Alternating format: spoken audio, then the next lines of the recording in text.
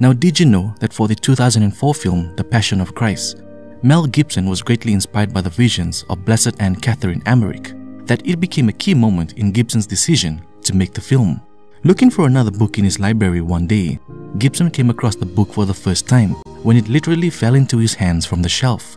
Now, Blessed Anne Catherine Emmerich experienced visions of the Passion of our Lord, which were recorded in a diary called the Dolorous Passion.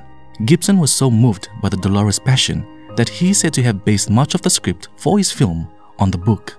Indeed, there are many references in the film that only appear in Emmerich's visions and not in the Gospels. For example, the scene of the crucifixion when Jesus gets his hand nailed to the cross. Instead of just nailing away, the soldiers had to dislocate our Lord's hand in order to have it reach the desired point. All these were from the visions of Blessed Anne Catherine Emmerich.